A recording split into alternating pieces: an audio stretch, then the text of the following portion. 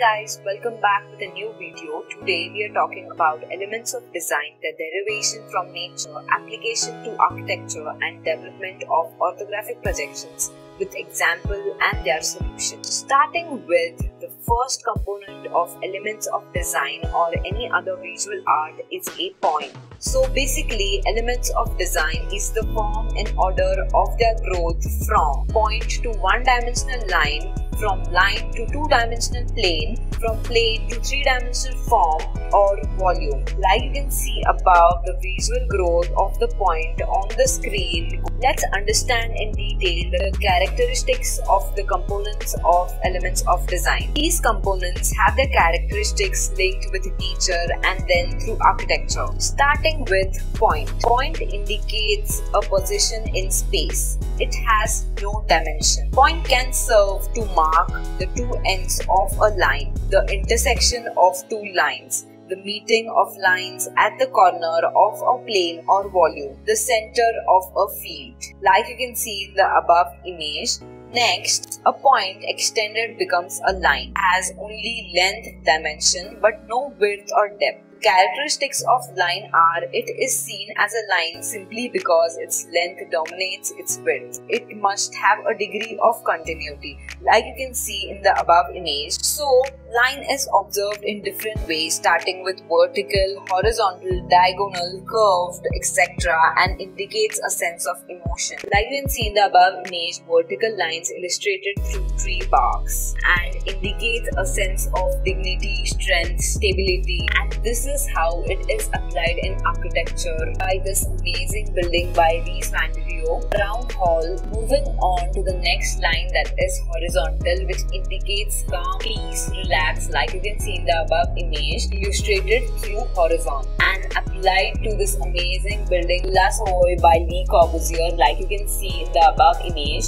Next is the diagonal line which indicates action, activity, excitement, movement and is illustrated through leaf veins like you can see in the above image and is applied in architecture like you can see above in the Louvre Museum by M.I. Pei. Next is curved line which indicates softness, soothing, freedom and is illustrated through desert dunes and can be observed in this amazing structure by Zaha Hadid called Heydar Aliyev Center and this is how a point is transformed to different types of lines and create a sense of emotion. Moving ahead is the next conversion from line to plane. Like you can see in the above image, a line extended in a direction other than its intrinsic direction becomes plane. A plane has length and width but no depth. Shape is the primary identifying characteristic of a plane forming the edge of a plane. Like you can see in the above image and we have three generic types of planes starting with overhead plane, wall plane and base plane. Like you can see in the above image and is applied in architecture. Like you can see in above image that is the National Parliament House Dhaka. By Louis Kahn and the conversion of line to plane and how it is applicable in architecture. Salk Institute by Louis Kahn again and this is how the planes are applied in architecture Going ahead to the next component that is the conversion of plane to volume. Like you can see above, a plane extended in a direction other than its intrinsic direction becomes a volume. A volume has three dimensions, length, width and depth like you can see and here it is marked for you. A volume consists of point or vertex where several planes come together, lines or edges where two planes meet, planes or surface that define the limits or boundaries of a volume. And this is how a two-dimensional drawing of a bird is converted into a vol a three-dimensional volume in a nature. Similarly, this sketch by architect Frank Gehry of Walt Disney Concert Hall using planes and shapes is then converted into volume and this is how it is applicable. And these are the basics of drawing or any kind of visual arts. Now let's understand how a point a line a plane and a volume is converted into a three-dimensional orthographic projection with an example of drawing depicting a house because that is the first thing we have learned to draw as a kid and will be easy for our understanding. So starting with converting this 2d plane of a house to its 3D form and looking into all the sides of a volume starting with the top view and this is how it looks. So the same 2D plane when viewed from an angle looks like this and is then converted into a 3D with adding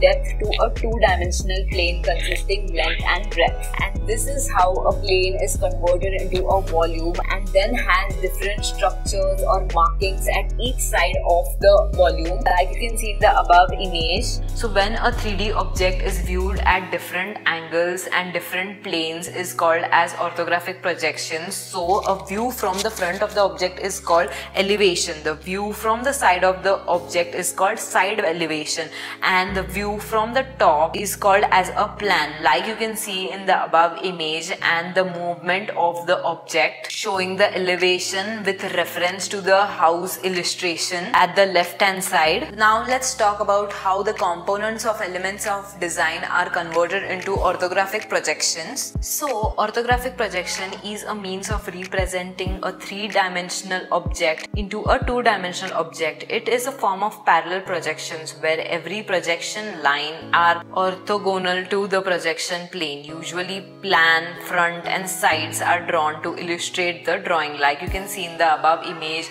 and also the sequence of different views of the house. So the basic of any 3D object is a cube and with the push and pull in the cube there are these orthographic questions which appear in the exam testing your ability to visualize a 3D object and the arrow mark shows the direction from where you have to view the object and here is how the surfaces appear. So the right answer is option D. Here are some more questions from the orthographic projections and again the arrow arrow shows a direction you need to view the 3D object from and the right answer is option D. Moving ahead, looking at the arrow shown, the right answer is option B. So in this case where the inclined surface appears as area, the shape of the area must be similar. For example, if the shape of inclined surface is defined by four lines, the view of the surface must also have four lines like you can see in the op options. Another inclined surface question and looking at the arrow the right answer is option A. Like you can see the two squares at both the ends are intersecting in the middle plane and hence the right answer is option A. Moving ahead to another inclined question looking at the arrow the right answer is option D. This was pretty simple. Moving ahead start with counting the surfaces and the shape of the surfaces and it will be very simple for you to mark the right answer. So here the right answer answer is option C. Next, looking at the arrow, the right answer is option C. Moving ahead, looking at the arrow, the shapes are marked with yellow and the right answer is option D. Moving ahead, like you can see in the options, there is a little space between the lower cube and the main surface and hence the right answer is option A. Option D also would be considered but the same line is projected out by the cube at the top and hence the right answer is A. Moving ahead, looking at the arrow, the right answer is option H. Even with the inclined surfaces, there is no visibility of the lines behind as it is is converted to a 2D plane. Moving ahead, let's look into the opposite of the last questions we had. They will mention the top, front and side 2D surfaces and you need to select one of the 3D object. Start with the top view and the marking here depicts the front, side and the top like you can see above and hence the right answer is option D. Moving ahead, always start with the top view and then the front and then the side so that you check with all the three sides. Next, always look for the planes and the lines in the object which are similar as all the sides. With that, the right answer is option B. Moving ahead, checking with the top view, then the front view and the side view and the right answer is option D like you can see in the above image and no inclined surfaces make any difference so don't get confused. And here are 10 more of the similar questions and their answers are not marked. And this is a mock test for you and you need to leave the answers in the comment section below. Also I'll recommend you with two of the books which are really helpful for your NATA exam and are linked in the description box below. Here is one which says NATA and B.Arch complete self-study material for entrance exam and another is NATA and B.Arch question bank. You will have both types of orthographic projections plus general knowledge. So look out for the link in the description box below. Subscribe to the channel and hit on the bell icon to get updated of the next video. All this study is not only useful for your entrance exam but will be useful for you in any type of design exam or architecture throughout your career. So stick with me and hit the bell icon. See you. Bye.